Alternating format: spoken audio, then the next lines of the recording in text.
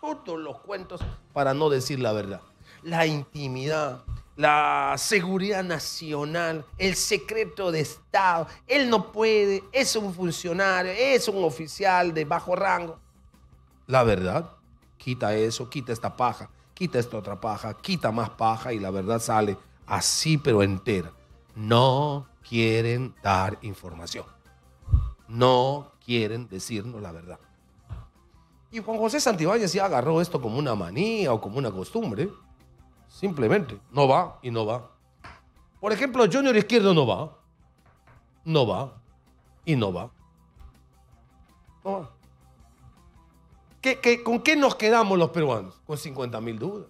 Y la transparencia, ah, se va de paseo. Y no a la playa que ha ido la presidenta, sino a cualquier otra playa. Ni llorando ni riendo, porque no se va a ir.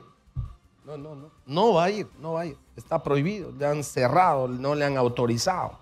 ¿De qué hablas? Del chofer del cofre. Del chofer del cofre.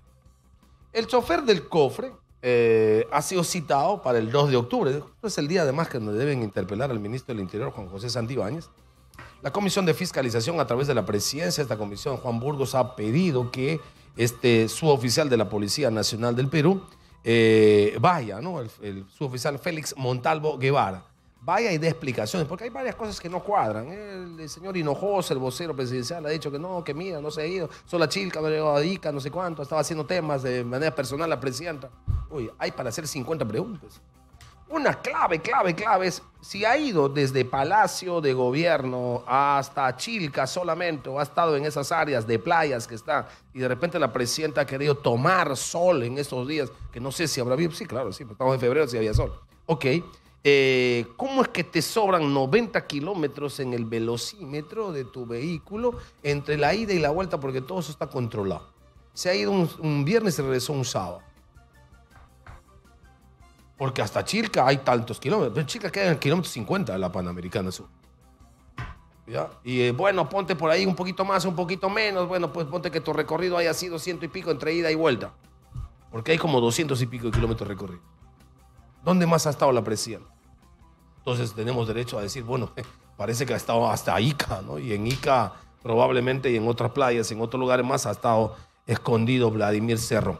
Bueno, no va. Y no va porque eh, el ministro del Interior, Juan José Santibáñez, ha establecido que por temas de seguridad no se puede presentar Félix Montalvo Guevara a la Comisión de Fiscalización.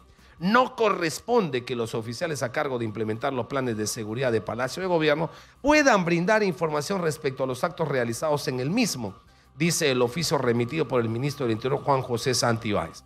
A efecto de que pueda participar, dice se solicita, se sirva a usted remitir el cuestionario correspondiente para su absolución, excluyendo información que pueda afectar el derecho a la intimidad personal de la mandataria o que corresponda a cuestiones de seguridad nacional. Todos los cuentos para no decir la verdad.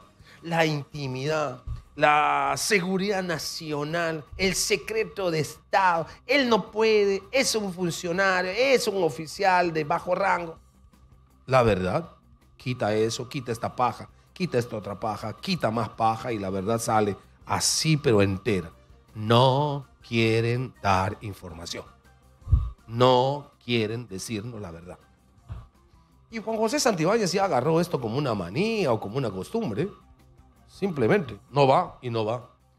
Por ejemplo, Junior Izquierdo no va. No va y no va. No va. con qué nos quedamos los peruanos? Con 50 mil dudas. Y la transparencia, ah, se va de paseo.